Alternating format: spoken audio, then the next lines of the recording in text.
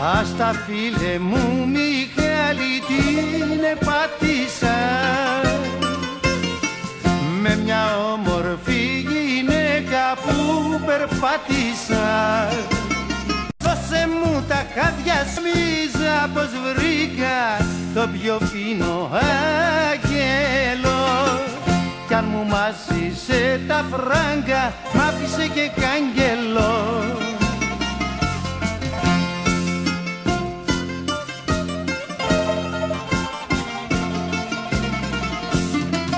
Έρε φίλε μου Μιχάλη έπαθα στραπάτσα.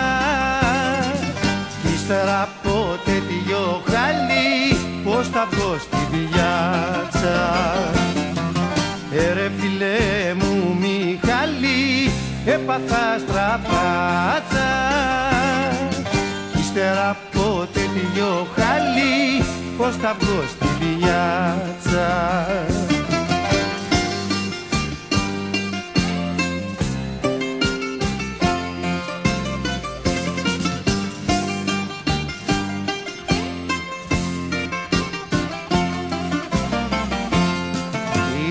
γυναίκα σαν ανεβάζει στα ουρανία.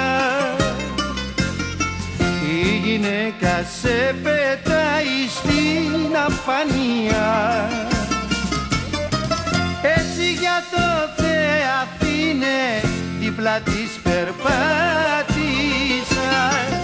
και η πλάκα τώρα